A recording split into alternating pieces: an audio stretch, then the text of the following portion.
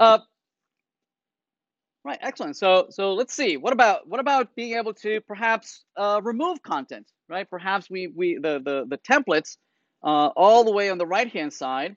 Right, we have some controls. Oops. We might have some controls uh, with an with an X or something that would allow us to remove that uh, uh, that um, uh, element, right? So, for instance, you might have an an I uh, class class F uh, font awesome fa what was it? Remove? I forget. Remove. Oh, was it times? Okay, must be. Let's see. Times.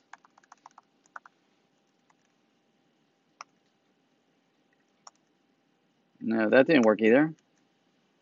Uh, hmm. Is it FA? There we go. Um, okay, uh, so, uh, and uh, we might uh, maybe want to uh, pull it all the way to the right hand side so we can say, um, was it um, pull or float right? Is it? There we go. So we, we float it all the way to the right, so it's nicely um, aligned on the right hand side. Um, all right, so so we might we, what we might want to do is, is is is when we click on this, somehow we need to be able to distinguish which one did we click. Right? Presumably these are all uh, individual uh, uh, rows, and and, um, and we need to be able to distinguish between the various rows.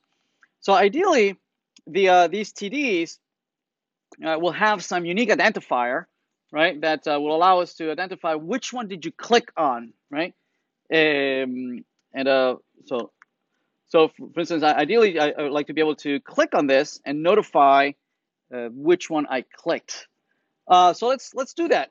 Uh, notice that I, I don't have any any event handlers here. It's it's not notifying anybody that, that anything is being clicked. Okay. Uh, what we can do uh, is um, is maybe give it a um, uh, I'll notice I'm not following my own naming convention, right? All, all classes that, that we create should be prepended and named uh, so that we don't we, we can distinguish them as classes that we create or you create or anybody else create. So I'm going to go with um, the naming convention webdev dash. I just modified here. I need to be able to remember that and go back here and says webdev dash. Okay.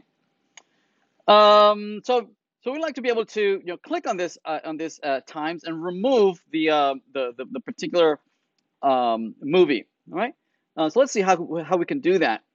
So what we can do is is uh, go back to our data type and perhaps provide some unique identifier right for each one of these movies. So for instance, this might be ID uh, one two three. This might be ID three four, and this might be ID three four five. Okay.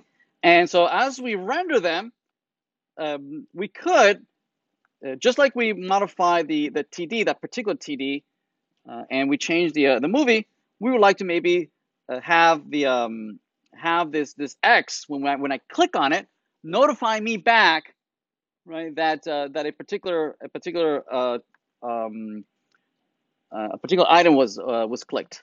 Okay, so let's see. What we can do is is perhaps uh, find this this this i this i, right, and and bind it with a click event. You know, bind it with a click event and notify me that we want to remove this row. Right, so here's the here's a function that we would like to call function delete movie. Okay, and we want to call it when we click on this I. So how do we do that?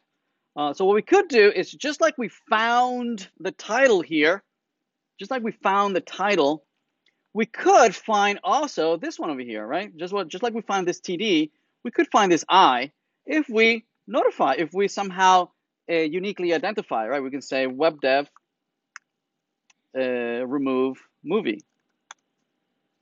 Okay, uh, so we can do that. We can find, we can find uh, remove movie we can find this uh, starting with the tr, which was cloned. We can find it by class. And what do I call it? Uh, webdev dash remove movie. Okay. So now I have uh, I have this item right here, this I, this I right here. See that? Right? I grab that I, and what, what what can I do with it? I can I can bind it. I can say, hey, dollar sign remove movie, bind a click event, and I want you to notify this function right here, delete movie. Okay, and we'll know that the this works if we have an alert on, you know, delete me. Okay, let's see if that works. Let's refresh, and something didn't work. Let's see, uh, invalid shorthand. Uh, ID. Oh, of course. Uh, these are colons, not equals. Sorry, too many languages. Uh, all right, so let's refresh. There we go. So if we click on this X, there we go. So we are indeed clicking and, and, we're notifying this function when we click on this on this X, right? We click on this X. We are calling that, that event handler. Uh, we need to be able to determine, well, which one did you click on? Which one did you click on? Hi everyone, Jose here. Uh, please remember to subscribe and like the video. And if you have any questions, please leave a comment down below. Thank you.